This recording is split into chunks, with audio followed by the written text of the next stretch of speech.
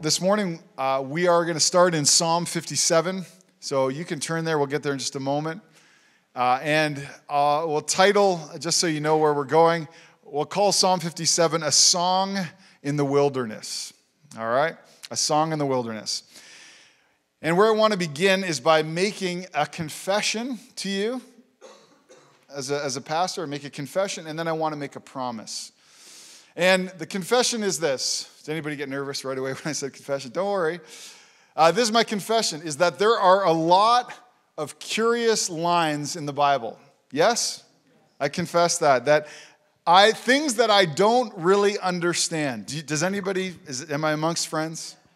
There's, there's things in the Bible where you read them and you go, I still really don't know what that's about. I, I think I understand, but I maybe don't.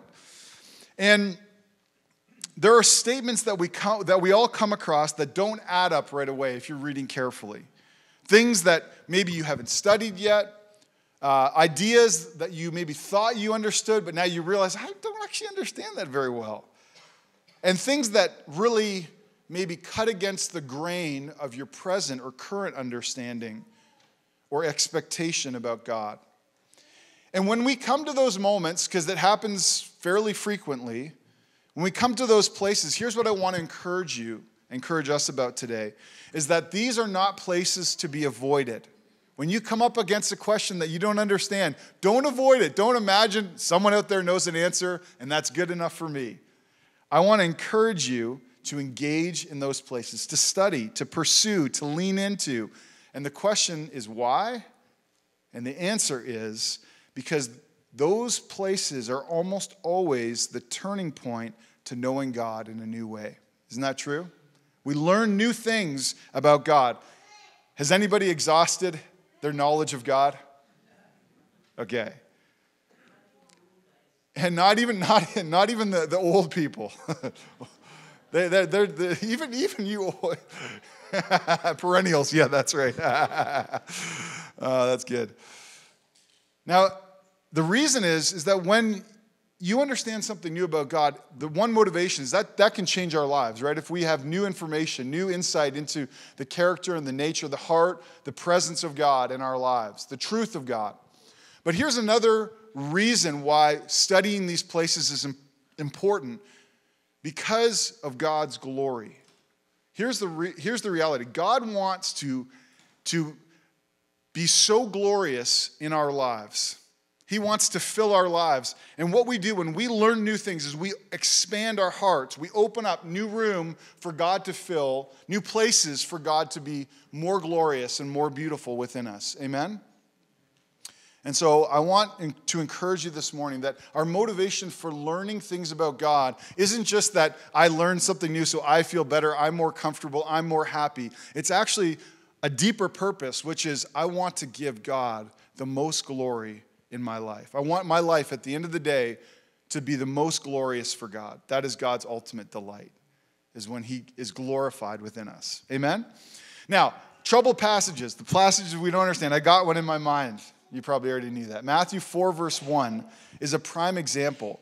You don't need to turn there, it's just one verse, but I'll, I'll, I'll, I'll explain it. Right after Jesus is baptized, it has this puzzling little line we've all probably read. It says this Then Jesus was led by the Spirit into the wilderness to be tempted by the devil.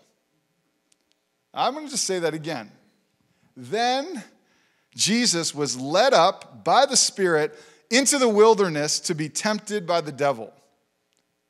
And actually, we're going to read in Mark in a couple weeks, it says, Mark says, the Spirit drove him into the wilderness. All right, does any, is anybody kind of a little bit shocked about that or a little bit, eh, what, do I really understand that? Have you ever read that and wondered, why did the Spirit lead him into the wilderness? I didn't think God did that kind of stuff. I thought God wanted us out of the wilderness. Why, was he why did he allow himself to then face the temptation of the devil? Why was it important and necessary? What was the purpose? Do you see how on the other side of that there might be something new for us? To learn. It's too specific a detail. Every gospel except for John, which doesn't have any story about temptations, Jesus' temptations in it. It's, it's in every single one, it's too repeated to be not important. And yet, most of us probably aren't sure exactly why. Why Jesus, under the influence of the Spirit, what was he really up to in the wilderness? What was his ultimate and eternal purpose in the story that it would serve God's plan in our lives? Okay, here's the question. So, this morning, what if instead of being satisfied with, I'm not really sure, but I'm sure someone knows out there somewhere, and instead we investigated, investigated this together? And what if, and here's my what if, if understanding this could be the key to unlock how you think about your wilderness places? Does anybody have a wilderness place in your life? Your temptations. What if understanding it under, helps unlock your purpose and, most importantly, your prayer in that place? I think it can be. I think we can understand it. And that's why I'm going to spend most of this time this morning not reading Matthew 4, but actually reading Psalm 57, because that's what my promise is about. My promise is that if we read and understand Psalm 57 together, we will never think about the wilderness the same way again. Amen? And if we do that, I promise you'll understand why the Holy Spirit led Jesus into it and what he might be doing in your life, in your wilderness, and why he might actually be leading you there. Amen? All right. Is everybody ready to read Psalm 57? Find out what's there? All right. Here's what it says. Uh, mine has a notation over the top. It says, To the choir master, according to, very vague here, do not destroy, a miktam of David when he fled from Saul in the cave. And this is what David says he says, Be merciful to me, O God. Be merciful. For in you my soul takes refuge. In the shadow of your wings, I will take refuge till the storms of destruction pass by. I cry out to God Most High, to God who fulfills his purpose for me. He will send from heaven and save me, and he will put to shame him who tramples on me. God will send out his steadfast love and his faithfulness. My soul is in the midst of lions. I lie down amid fiery beasts, the children of man, whose teeth are spears and arrows, whose tongues are sharp swords. Be exalted, O God, above the heavens. Let your glory be over all the earth. They set a net for my steps. My soul was bowed down. They dug a pit in my way but they have fallen it, into it themselves. Selah. My heart is steadfast, O God. My heart is steadfast. I will sing and make melody. Awake, my glory. Awake, O harp and lyre. I will awaken the dawn. I will give thanks to you, O Lord, among the peoples. I will sing praises to you among the nations. For your steadfast love is great to the heavens, your faithfulness to the clouds. Be exalted, O God, above the heavens. Let your glory be over all the earth. Amen. That's a. Uh, it's I. I got lost in this for a couple weeks, and that's my second confession today. All right, so what does Psalm 57 then have to do with the wilderness? What does it have to do with temptation? What does it have to do with purpose? And what does it have to do with prayer? Well, just about everything has everything to do with it. And we find that out immediately by reading the, the, the superscription above it. And it says three important things that I want us to understand. It says, first, to the choir master, so it, we already know it's a psalm, but it says, to, according to one, do not destroy. Two, it tells us it's a miktam of David. Of course, everybody's excited about that. Miktams, right? All right. No? Okay. Uh, three, when he fled from Saul in the cave. So let's start with the most obvious of the three. This psalm is related to the story of David in the cave at En Gedi. That's found in 1 Samuel 24. And I encourage you, if you go this week, you want some great reading.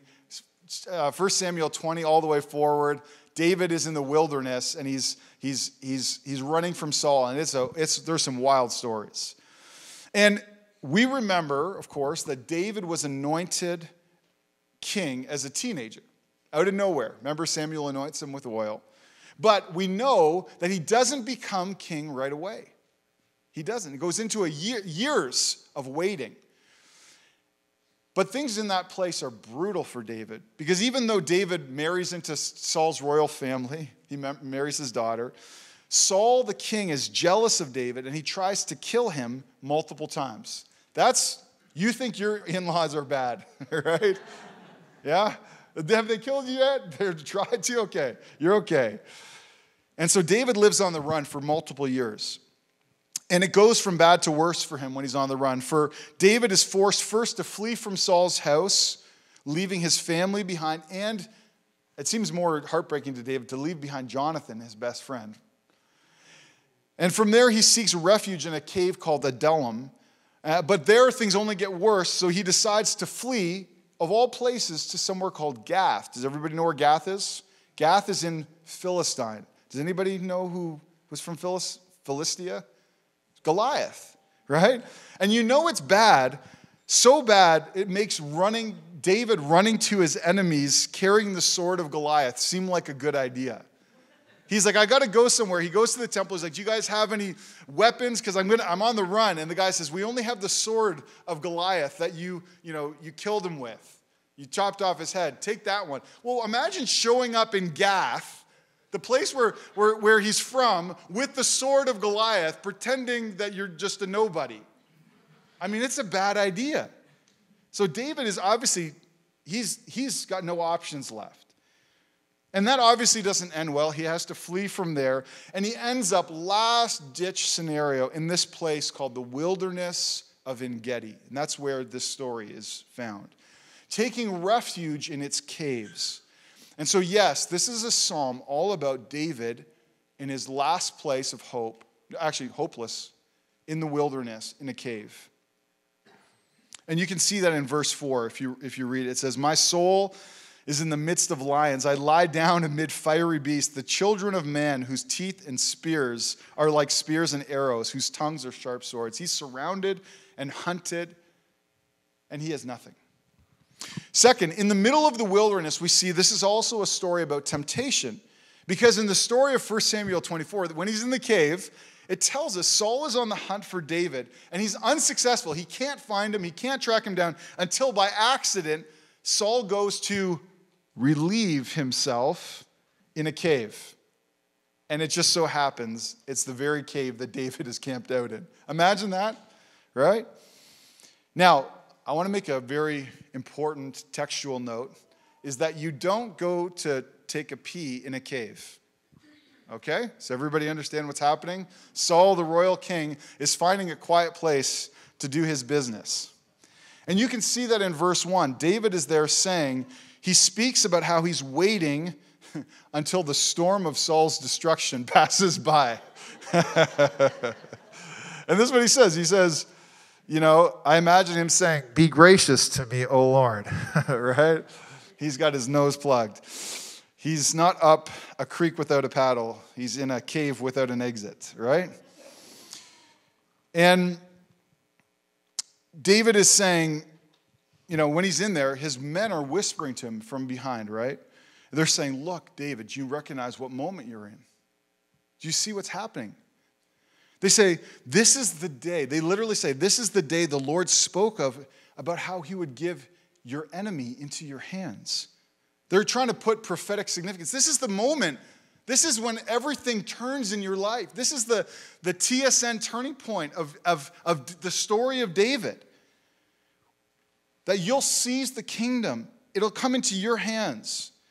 They're saying it's obvious. Like, can't you, can't you read the moment, read the room, David? Your enemy is sitting there with his pants down, right? I don't know if that's where the phrase came from, but like that's literally Saul. He caught with his pants down. And I want us to hear the other sound of what they're really saying to David. They're saying, uh, tell me if this sounds familiar. If you are the Son of God, because that was David's royal title, that's what Son of God means, means king. If you are the Son of God, if you are actually the one God anointed, then do what seems good to you. Does that sound like anybody else's voice? It sounds just like the just like Satan in the desert, doesn't it? If you are, if you're really. And so this psalm is a psalm about temptation. Do you see David's explanation? See his explanation in verse 2. David says this to his, his friends. He says, I cry out to the Most High in this moment, to God who fulfills his purpose for me. David is saying, others may choose what they want, but right now I hear what you guys are saying, but I am crying out to, the, to God Most High. And when he says God Most High, he doesn't mean I cry out to God who is most powerful. That's what Most High doesn't mean most powerful. Most High means most important, most central, like the, the, the, the, the unchanging one, the, the God of wisdom and insight. And so, what David says is, What I want so often is fleeting. What I think is right in my life so often in the midst of temptation, I don't see things rightly. And so, what I'm appealing to is I'm saying, God, help me because I don't know what to do. This seems right to me, but I want your will and not my own. I want you, God, above everything else, So, give me insight. And that flows right into his statement. He says, So I cry out to you, to you, God, Most High, who fulfills his purpose for me. God, I want your purpose for me, not my will, but yours. And I, I, that's a powerful prayer in the midst of temptation. Thirdly, we know this it tells us it's not just about David's story in the cave, but something is happening in there, and that's why they calls it a miktam of David. Now, if you don't know, a miktam is a, a, a kind of psalm, a genre of psalm. And in Hebrew, that word means spoken with covered lips, like whispered. It, what it really is referring to is it's saying it's a reference to a, a secret kind of knowledge, something not known by most people, a divine revelation. And this miktam also then has a double meaning in the story because not only is this prayer whispered by David in, in the back of the cave, God, be gracious to me. Help me right now. Help me to know what to do. This is a prayer in the midst of his temptation. Help me to, to, to, to do what's right. And I appeal to you, God Most High. He's not just whispering that, it's, uh, he's, he's actually singing a song that carries within it a divine secret that God has whispered to David. God has shown David something in the wilderness that he's singing out now. So, what divine secret has David, has God whispered to David in the wilderness that, that he's employing in this moment of temptation? Well, remember, we've been told it's not just a miktam of David, but the first instruction, do you remember what it says? According to do not destroy. And so, what that means is it's likely a reference to this is meant to be sung to the tune of, or in reference to the idea of this tune, do not destroy. Do not destroy. And you'll find it other places in the Psalms. Actually, above and below, you'll hear this is a miktam to the tune of Do Not Destroy. And what that means is that at that time, and we've lost the actual tune, so I can't sing it for you, but there was a well known kind of song or a melody in that day named Do Not Destroy. Kind of a daunting sounding song, right? That you would put different lyrics to. It was a melody, it was a song that you'd sing. And so we, we've had, we have obviously modern examples of that. The point was that it would be a melodic cue for when you sing together that they would know what kind of song it was. So is this is do not destroy a song of hope? Was it a song of thanksgiving? If it was a lament, you'll see they all they all share something in common. And the answer to what it means is found in Isaiah 65 verse 8 where we see it referred to explicitly even though the phrase exists in other places. And this is what it says in Isaiah 65. It says, Thus says the Lord, as the new wine is found in the cluster, and they say, Do not destroy it, for there is blessing in it, so I will do for my servant's sake and not destroy them all. Now, I'll ask you a question to explain. Has anybody ever bought grapes? Right? You go and you, you get in the supermarket and you, you know, if you're very daring, I've seen people they just pick and eat a grape, right? I'm thinking, you can't do that, can you? Because I want to, right? You go and I kind of through the bag, you give them a little squeeze to see if they're if they're really crispy or not. But you ever get home and you pull out the bag and all of a sudden you're like, you looked at the bottom and you grabbed them in a rush and you're like, oh no, half of these, most of these are kind of gross, right? And you take it and if you're like in a rush, you just chuck them out, right? You throw out the whole thing. But if you're like me, you know the price of grapes, you saw the bill, it's like $15 for a bag. And so you go, I'm going to pick every single little good one off of there, right? What, what are you doing? You are not destroying everything for the sake of the whole, right? And that's, the, that's what this song that David is singing references. He's saying that there are times in our lives when everything looks bad, places in our lives that everything seems unredeemable, vast wildernesses that look dangerous to us and bleak. They may have happened to us, or we may be in one right now. Maybe it's decades of difficulty. And you better believe how easy it is to imagine that the whole thing is rotten, right? That whole thing that happened to me, the whole thing I'm going through right now, this trial, this pain, everything is broken. In times of hardship, loss, pain, and uncertainty, it feels like to us that the darkness will overshadow our lives now, that there is no safe place or refuge. Who's looked at something and said, there's, it's like it's, you hold it up like a bag of grapes and you go, there's nothing good in this. Nothing good in this. And nowhere to rest. Quick look. All the grapes are rotten and we just want to throw them out. We want to destroy them all. We want to forget it. We want to have it be over with. But our lyrics are, our lyrics in our lives are, I want to be anywhere else but here. Has anybody said that? I just want to, I want to be somewhere else. That whole season of my life was death and destruction. I just want to move past it. Well, I want you to know David can relate to you. and he was fully justified in saying that about his situation in that moment. Everything about this is brutal. There is no hope. This is going to be the end of my life. The wilderness of En Gedi was a harsh wasteland.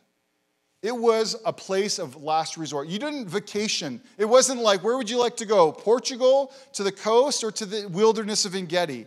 Oh, the wilderness. I've done the coast. Let's do the wilderness. No one's saying that. It was a place, not where you dream, but it's the place where dreams go to die. It was cold, it's unforgiving, and it was brutal. And yet, understand this in the quiet isolation of the wilderness, David began to hear God's miktam, God's whispering, humming, a secret tune to the melody that was long forgotten. God started singing that the, melody of do not destroy for there is blessing here. He began to say that, David, don't throw this out. Do not waste your wilderness. There is something happening here. Do not be afraid. Eugene Peterson said it this way He said, David started out running for his life, but at some point, he found the life that he was running for. And the name of that life was God is my refuge. That's what he found in the wilderness. See, the wilderness is the place all of us are brought to learn that God is our refuge. God wants to put that secret right in the center of our hearts that God is a refuge, an ever present help in times of trial and trouble. It is the work of the Spirit because He desires, this is what God is hoping for us, is that in the wilderness we will find true rest because there, there's no rest anywhere else, right? because he desires us to find real peace. Because as David said in verse 1, it's a place we can actually anticipate God being merciful and gracious to us. Rick Warren expressed the purpose of the wilderness pretty succinctly when he said, You will never know God is all you need until God is all you have. Amen? And we were, we were singing uh, kind of that wilderness song this morning, right? Sing a little louder. In the presence of our enemies. We're singing a little louder. There's a song that we're singing. So know this God does not lead us into the wilderness so we can starve. Picture Israel. He leads us so we can be fed from heaven. Amen? He doesn't lead us into the wilderness so that we can die of thirst, but so that we can drink living water from the rock. He doesn't lead us into the wilderness so we can get stuck walking in circles, but so that we can learn to walk in complete and utter dependence on God. See, the secret of the wilderness in our lives is that it's not a punishment. The wilderness is to explode and explore the glory, to expose the glory of God within us, so that we might burst with joy as we rest in Him amidst a wilderness of nothing. And so we can learn to access the great storehouse of God's grace for our lives, and so that we can give it and share it with others who need to learn how to rest as well.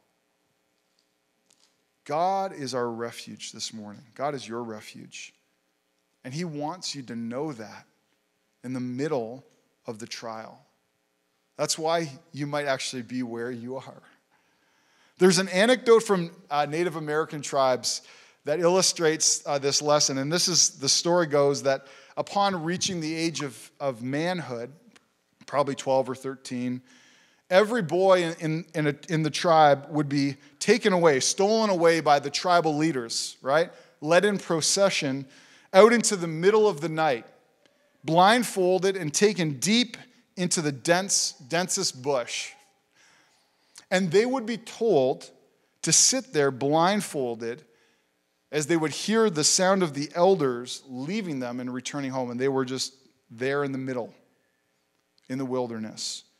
In the darkness, they would sit there. The night, every sound is frightening, is amplified. Every, you know how that is? When it's dark out, when you're half asleep and you wake up and you hear that sound in the night, everything's amplified, right? All of a sudden, it's, of course, it's an axe murderer has broken in, right? It's just the fridge. But, you know, and imagine how vulnerable you might feel, unable to see, just to listen. And you have to sit there all until the sun would break. You'd feel the warmth of it on your face. And they would then be allowed to remove their blindfold, only to find that their father has been sitting directly across from them the entire night, keeping watch. And that's the secret that David learned in the wilderness. He learned God is here and He is my refuge. God is the only one. There's no other place, but God will be my refuge. Now, how this unfolds is wild. And we know that he understood this because of what he does next in the story. Because instead of striking Saul down, instead of pulling out his sword and just ending it, he, instead of taking matters into his own hands, what does he do? Does that, do people know? Do you guys know? He cuts off the corner, the hem of the royal robe that Saul had probably taken off.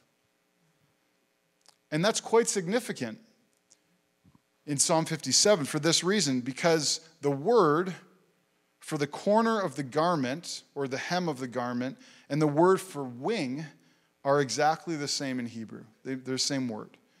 And so, do you see what David? So, so in the story, Saul leaves the cave unknowing, doesn't know David's there. And David, as, as he's a little bit far off, David comes out of the cave and holds up the hem and begins to speak to Saul, saying, Saul, do you see, I don't have any ill intent towards you. I'm innocent of the charges. I don't want to kill you. I could have, and I didn't. And this is what David is saying as he stands before Saul. He holds up the wing of Saul's garment. And he said, Everyone told me I could finally find, find refuge. I could make my own refuge. I could, I could create safety in my life. I could, I could walk into the palace tomorrow by taking things into my own, hand, my own hands. They said, The only way you'll secure your future is to kill Saul. The only way to exit, listen to this, the only way to exit the wilderness is, becoming, is by becoming wild yourself by stooping down to Saul's level. In the wilderness, we are tempted to become wild, to do things that we shouldn't do, to make compromises, to believe things, to look for shortcuts, to get out early, to, to exit on our own strength. But he stands up and he holds up the hem and he says, I have learned the secret of the wilderness, O Saul. I have found my only real refuge is not under the shadow or the, the shadow of your hem or your garment or my own will or ways, but under the shadow of his wings. Only under the corner of your garment, O Lord, will I ever find my refuge. See, if God is your only refuge, see, when God is not your refuge, you will always fight against the wilderness. You'll always do battle with it. You will always fight against people. And you will even learn to justify evil when you don't know this. If you don't learn the wilderness lesson, you will always act on your own. And you will live apart from a deep and abiding trust and rest. You'll always be frantic. You'll always be afraid. But when God is your refuge, the darkness does not define you. David was not alone in that cave, was he? Was he abandoned? All of his friends said, There's nothing here. This is it. We're scared. We're, we're alone. And David says, No, no, no. God is my refuge.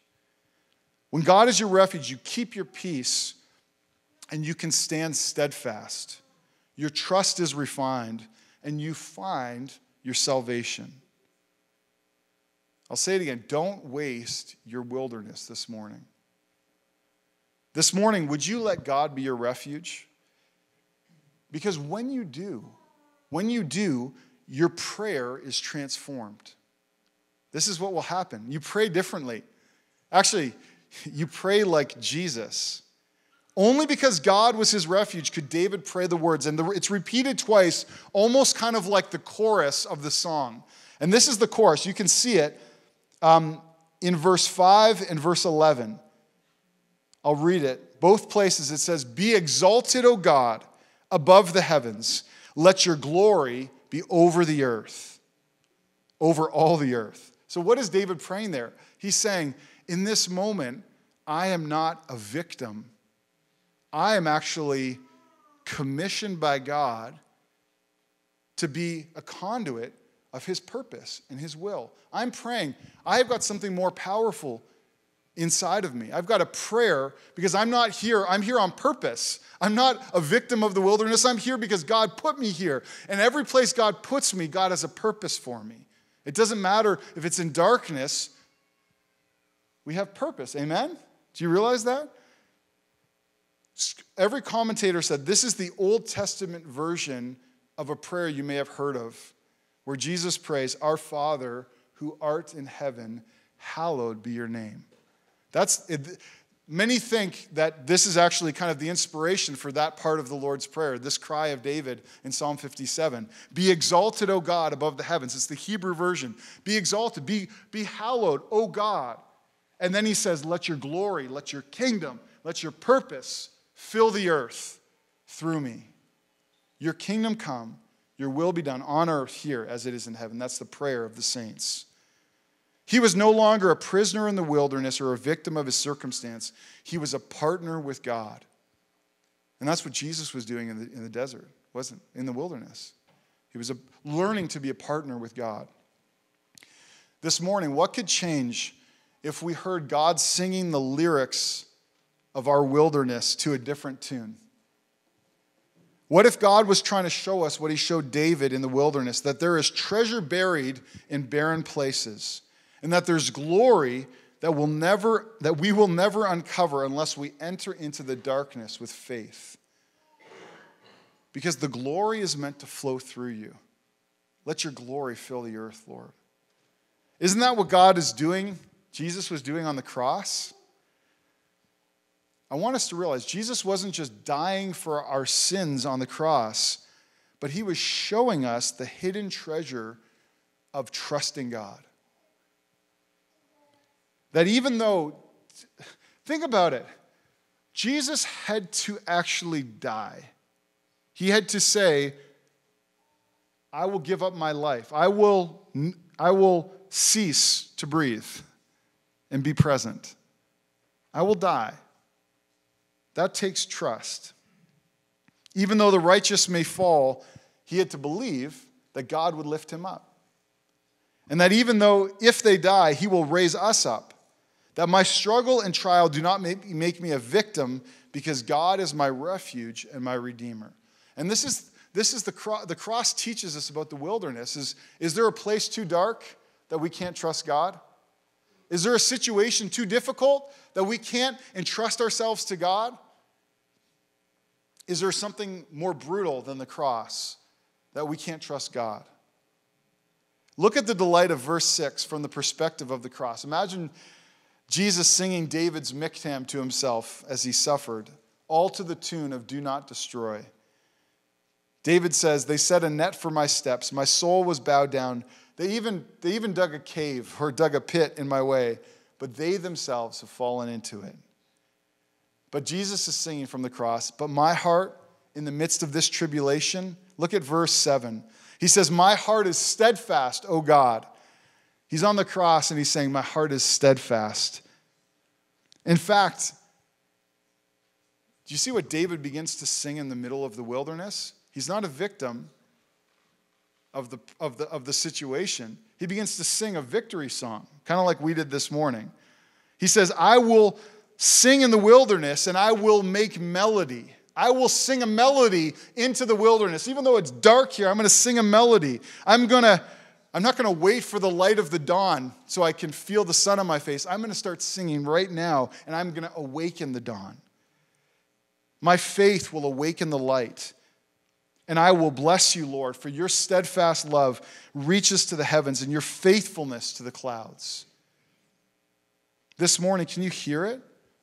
the song of God singing each one of our stories. He's singing the song of redemption over us, He's whispering it to us. Now, all of this brings us back to where we started. Because there's Jesus in the wilderness. And that's the question. If we understand Psalm 57, we can understand what he's doing. So let's just consider that for a moment, then together.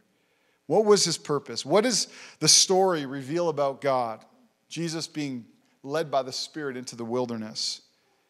I think it reveals God's deep desire to redeem, to enter right into a moment of failure and fear and reimagine it. Isn't that what it means to live in Christ? I'll, I'll get there. It means, what does it mean to live in Christ? It means we give up, all of us here, if, if you've confessed Christ, what did you do? Galatians 2:20. Right? It's no longer I who live, but it is Christ who lives within me, right? Lives in me.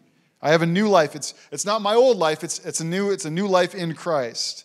And isn't that God's great desire? To enter right into the place of sin and failure and fear and live a new life, reimagine it from within, rework, re- reenact a life, relive our lives no longer under, under the dominion of fear or shame, but through love. Who's heard, I mean, we've heard countless testimonies, haven't we? Of someone says, Oh, we sang it this morning. I once was blind, but now I see. I once was lost, right? But now I'm found. We have testimonies of, in our own lives of, I used to be like this, but now I'm doing something completely different. It's completely different. And you have to realize, what is God doing? He's putting himself in the middle of the sin and failure, and he's saying, I'm going to live a new life in Ian. I'm going to li- relive Ian's life according to the way I would live it. That's a beautiful thought, isn't it? How would God want to live your life? What would it be like if Jesus was living your life on the inside? And I want you to know if there was a place in Israel's history that needed redeeming, it was the wilderness. See, all of us have places in our lives, even as Christians, where, man, that darkness, we look back and we say, that was the worst. I never want to go back. There's nothing about that that's good. And yet, here is God living within us. And what does He do for Israel? Their story marked by failure. Years and years before, the wilderness had been filled, this is the Exodus, had been filled with thousands of Israelites on their way out of Egypt into the promised land. They, they were ready to go. But in that wilderness, rather than leaning on God, they took matters into their own hands, didn't they? And so they fought against one another. They got scared, didn't they? Isn't that what we said in the wilderness? If you don't trust God, you will fight against the wilderness. You will fight against other people and you will justify doing evil. And that's what they did. They fought against one another, against the wilderness, and they justified evil. They worshiped false gods. Exodus then has a name for the wilderness. It actually says it's called the wilderness of sin. They just named it. That whole time in our life, that was the wilderness of sin. In that place, they failed to trust God, to believe in Him, and listen to Him. But here's Jesus. What does He do? He wants to rewrite the story. He wants it to be known that the path of the righteous the path of the, perp- of, the pe- of the people of God is not to exit out of their sin and then fall into selfishness and fall into despair and hopelessness in the, in the desert, but to learn to trust God and then enter into the promised land and live victorious. Amen? And so Jesus is coming into this moment, reenacting. He, does anybody remember? He went to Egypt after he was born, right? They flew, they fled Herod, they go to Egypt. Why? Because he's reenacting the story of Israel. They went into Egypt, and then he comes out. And how long is he in the wilderness for? For 40 days? Symbolic of the 40 years that Israel wandered. What's he doing? He's reenacting the story. He's reimagining it, he's reliving it, retelling the story, saying, Who you are in Christ, who you are as a son and a daughter, as a child of God, dearly loved, beloved, and called, that you have a future through the wilderness into the promised land. And so there he is in the wilderness, singing like David, and he's awakening the dawn. He can't wait to tell the enemy who he is. He can't wait to tell Satan, listen, Man does not live by bread alone, but by every word that proceeds from the mouth of God. He's showing us who we really are. We are the children of God, and we do not need to fear because God is our refuge. Amen? We are dearly loved by our Father, and He keeps us. His power and grace are more powerful than sin, and He will make all things new. He will restore every part of our lives. This morning, whatever darkness, defeat, sin, wilderness that you have in your life, the promise is that Jesus in you has a claim on that place. He wants to, to walk through it with you. He wants to rename it. What, that, that, what do we call it? We don't think about the wilderness that Jesus walked through and imagine it was full of sin. It's the wilderness. It was the, it was the launching pad for his ministry. In Luke, it says he, was, he left that place in the power of the Spirit. He walked into the temple and he says, The Spirit of the Lord is upon me because he's anointed me to preach the good news. Amen? He will be exalted in this life, his glory will be over the earth. Could you imagine He intends anything less for our lives?